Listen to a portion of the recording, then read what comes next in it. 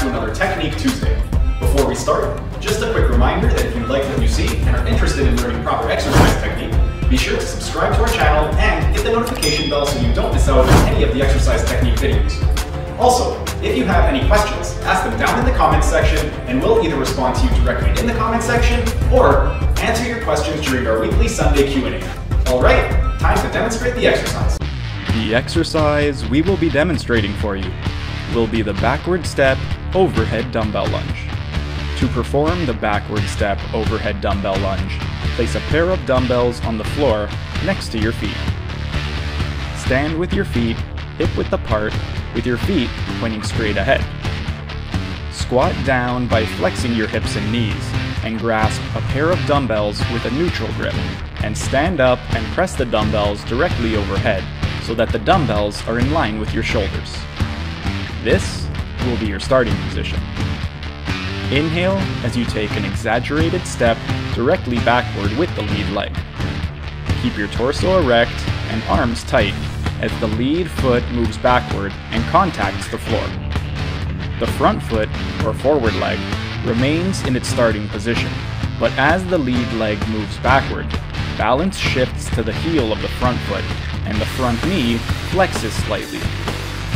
Plant the lead foot with the toes pointing straight ahead and placing the lead foot directly backward from its starting position to maintain balance, keeping the front ankle, knee, and hip in one vertical plane. Once balance is shifted to both feet and you are stable, flex the front knee to lower the lead knee toward the floor. Make sure your torso stays erect, your shoulders are held back, the dumbbells are directly over your shoulders, and your head is facing forward as you sit back on the lead leg. Ideally, the lead knee should be 1 to 2 inches from the floor with the front knee flexed approximately 90 degrees, the front shin perpendicular to the floor, and the front foot flat on the floor.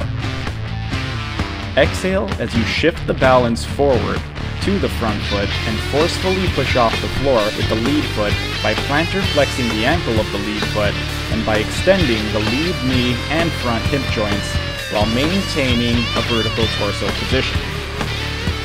As the lead foot moves forward toward the front foot, balance will shift back to the front foot. Move the lead foot back to place it next to the front foot, approximately hip width apart, and maintaining an erect torso just as you were in the starting position. Regarding tempo, there will be four numbers which will determine the speed of the movement. The first number is going to be the eccentric portion, or the lowering phase of the movement. The second number is going to be the pause at the bottom of the movement. The third number is going to be the concentric portion, or the lifting phase of the movement. And the fourth number is going to be the pause at the top of the movement.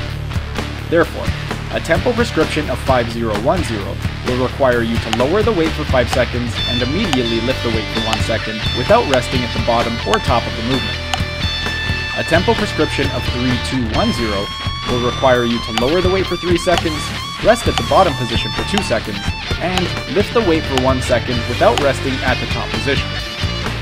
A tempo prescription of 4021 will require you to lower the weight for 4 seconds, lift the weight for 2 seconds without resting at the bottom, and rest for 1 second at the top of the movement before performing the next repetition. A tempo prescription of 2121 will require you to lower the weight for 2 seconds, rest at the bottom position for 1 second, lift the weight for 2 seconds, and rest at the top position for 1 second before performing the next repetition. That's it for today's video. Thanks for tuning in. If you liked what you saw, be sure to hit that like button, subscribe to our channel, and hit the notification bell so you don't miss out on any of the exercise technique videos. And if you have any questions, ask them down in the comment section and we'll either respond to you directly in the comment section or answer your questions during our weekly Sunday Q&A. Keep fit, have fun, and we'll see you again next week.